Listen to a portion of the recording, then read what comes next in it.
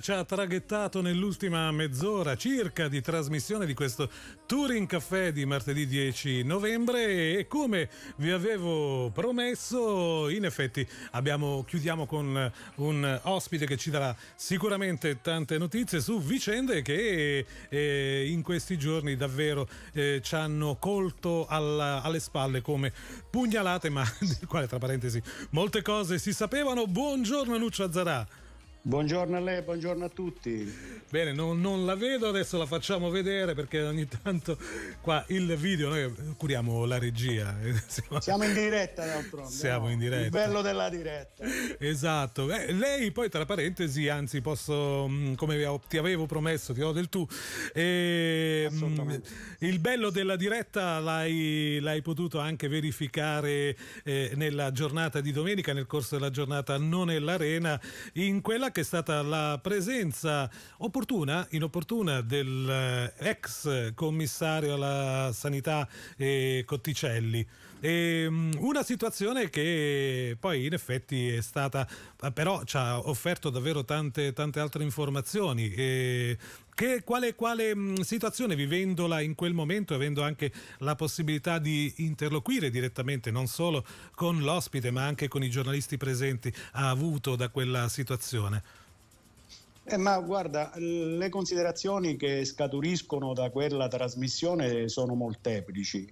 Intanto la prima considerazione è che non riesco bene a decifrare se è più pesante, più drammatica, più incisiva eh, la prima trasmissione, quella di titolo quinto, sì. oppure quella di Giletti, perché entrambe le trasmissioni hanno offerto intanto un'immagine drammatica eh, di tutto ciò che ci governa, di tutto ciò che sovrintende al destino, alle cose più delicate della nostra vita. Questo è il primo impatto, il primo, come dire, la, la prima sensazione che mi viene, che sgorga, che sgorga spontanea. Poi in trasmissione ho avuto il modo di dire che al di là del fatto ormai ci dipingono sempre come calabresi arrabbiati. I calabresi non sono solamente arrabbiati, ma riescono anche a elaborarla la propria rabbia. Certo, certo. Eh, eh sono capaci di ragionare, sono capaci di distinguere. E alla rabbia, in quella trasmissione ha fatto posto la nausea.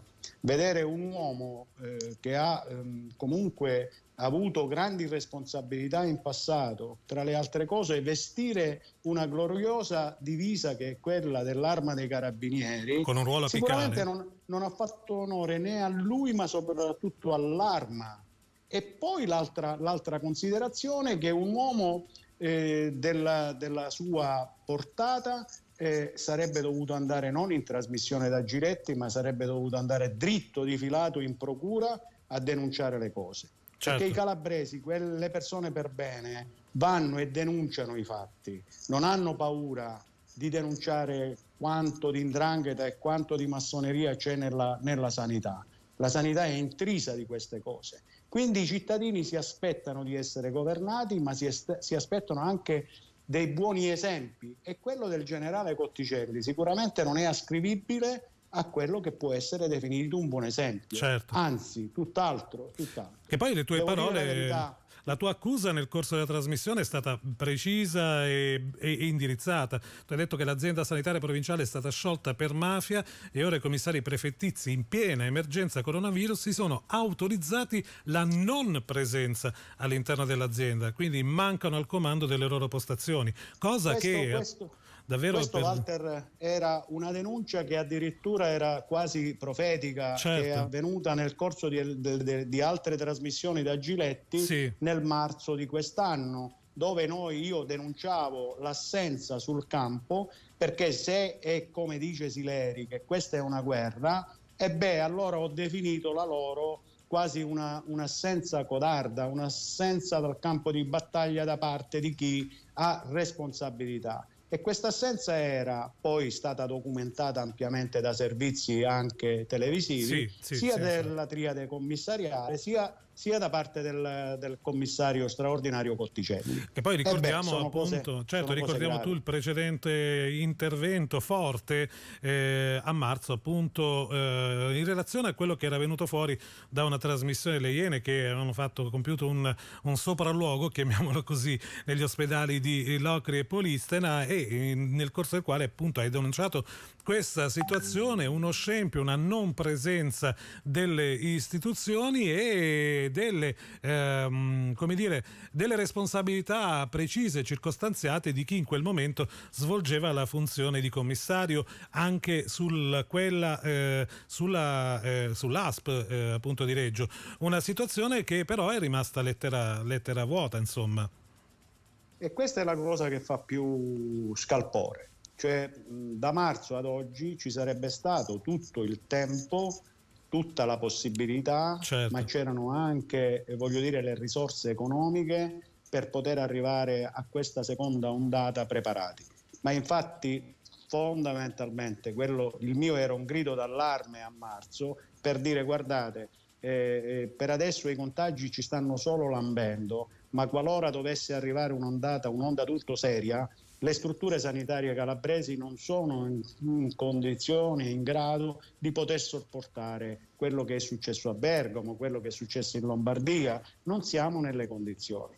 Poi vedere in diretta che il rimpallo di responsabilità tra i diversi livelli che sono quello governativo, perché non bisogna dimenticare certo. che nel momento in cui la, la sanità in Calabria è commissariata, vuol dire che è stata tolta a livello regionale locale, è stata richiamata a un'autorità superiore che è quella dello Stato. 11 anni di commissariamento governativo in Calabria hanno portato questo scempio, hanno portato a questa deriva.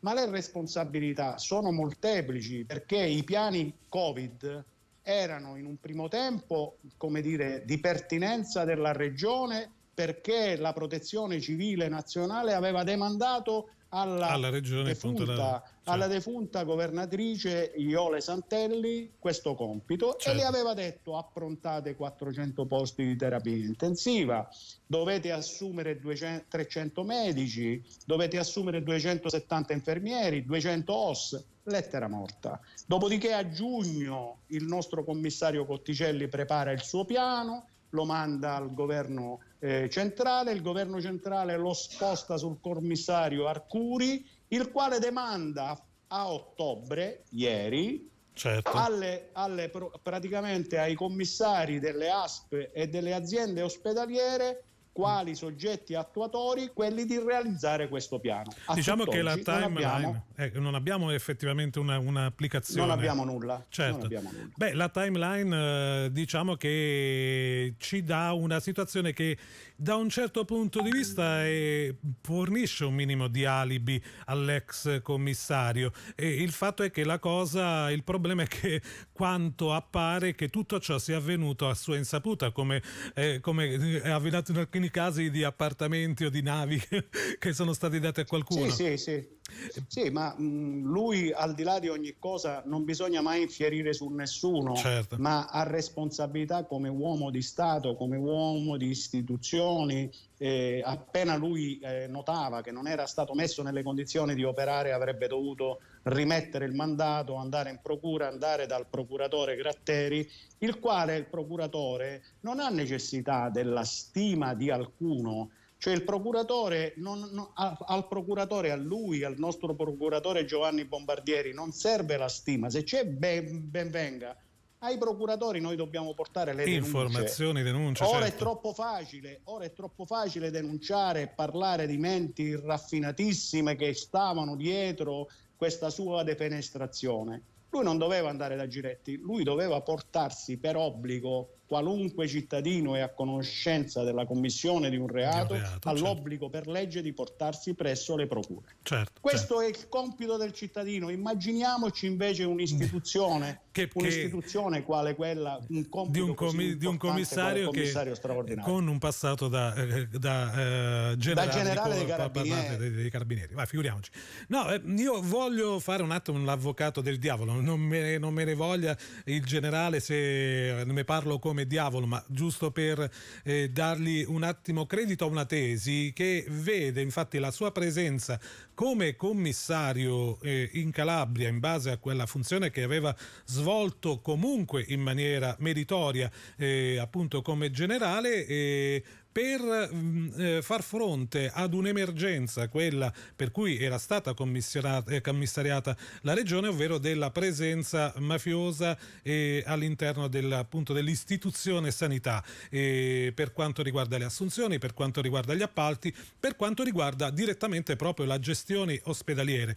Ora, eh, in quel ruolo, forse, io non so, andando a, a, a vedere anche, c'è stata sicuramente una, una certa certa operatività diretta e indiretta, ma comunque improntata a questa problematica, è che nel momento in cui si è trattato di affrontare un'emergenza in cui era richiesta conoscenza tecnica e, e anche manageriale, eh, il suo ruolo eh, era assolutamente iniquo.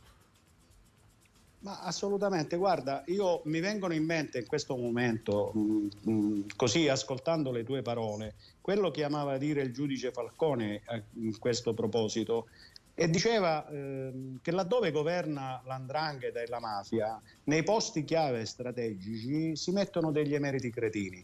Ma voglio dire, questo lo diceva lui perché è, eh, lo, lo registriamo, ma sta venendo fuori prepotentemente con queste trasmissioni che nei posti chiave, nei posti dove la responsabilità e la competenza, una parola sconosciuta, eh sì eh, dovrebbero fare la differenza. Invece si è capito che è stato posizionato, che è stato allocato in quella posizione importantissima un uomo inadeguato che tutto sommato si è sfruttata forse la sua immagine di generale dei carabinieri come pezza per coprire un buco o per continuare a governare eh, liberamente eh, gli affari che nella sanità eh, ci sono. Non bisogna dimenticare che eh, la parte preponderante del bilancio regionale calabrese è fagocitata dalla sanità, da il 70% prima. del bilancio, certo. 3 miliardi e mezzo. Quindi noi siamo abituati a pensare che l'andrangheta segua questo filone che sono il, il flusso di denaro e il, il giudice Gratteri dice che eh, l'andrangheta lucra più con i soldi della sanità che con i soldi del, Della, del, dello, del traffico degli di... stupefacenti. Certo. Beh, mm, sì, sono cose che poi in un certo qual senso noi potremmo anche decifrare vedendo lo status quo, perché poi in effetti certo, tante certo. piccole situazioni, se noi le andiamo a sommare, e anche tante inchieste, tanti risultati di inchieste portano su queste tracce.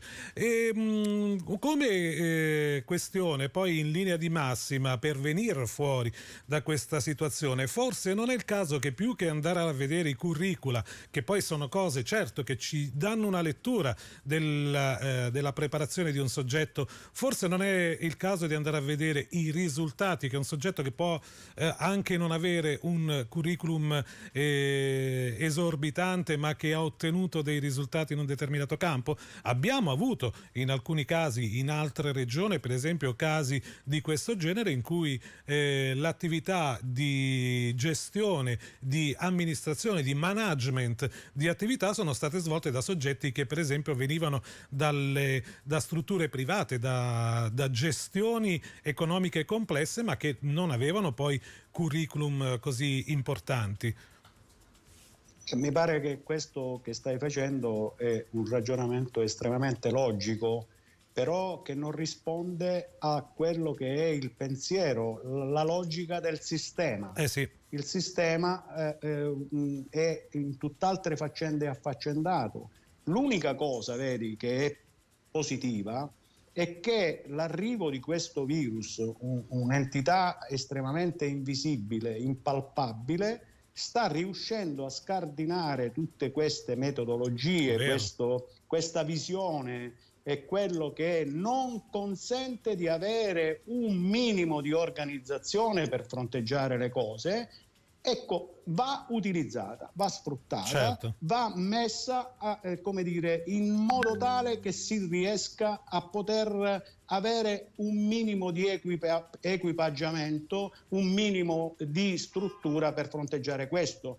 Però se tanto mi dà tanto e alla defenestrazione e alle dimissioni di Cotticelli si sostituisce con un altro personaggio in cerca di autore, e beh, vuol dire che veramente della Calabria c'è così scarsa considerazione eh da mettere un personaggio che già, voglio dire, alcuni video sono virali sulla rete e si, e si tocca con mano, eh, come dire, eh, lo scarso rispetto che si ha della vita umana, le scarse conoscenze anche scientifiche di chi dovrebbe essere preposto a governare processi abbastanza complicati. Certo. E allora però attenzione, perché c'è un altro aspetto, la gente si sta, sta passando dalla indignazione, dall'arrabbiatura, sta passando veramente alla reazione veemente sul campo. La manifestazione di Reggio Calabria di qualche giorno fa, composta, civile, ma ieri ce ne sono state due, una a Cosenza e una a Catanzaro dove c'è stato un ferito. Qua tutto può sfociare anche in un problema un di ordine pubblico, pubblico certo, perché certo. la gente sta pagando oltre che sulla mancata fruizione di un diritto sacrosanto che è quello della salute, ma sta vedendo e sta toccando con mano che il lockdown tocca elementi ancora più stringenti, l'economia, la, il poter andare avanti, il poter sbarcare il lunario, il portare come dire, il cibo a casa. E quando un padre di famiglia dovesse aprire il frigorifero un giorno e lo trova completamente vuoto, e beh, là non ci sono ragionamenti. Specie quando, la responsabilità, filtri, eh. quando le responsabilità possono essere ascritte anche a una cattiva gestione del, del, della sanità. E Nuccio, no, volevo um, dirti poi un'altra cosa. Poi, eh, nello specifico, quanto appunto hai eh, detto poco fa riguardo all'attuale eh, commissario, io poi ieri eh, ero nel dubbio sulla, sulla, vicenda che era uscito fuori eh, nel corso della trasmissione, perché poi le notizie vanno confermate confermate e verificate.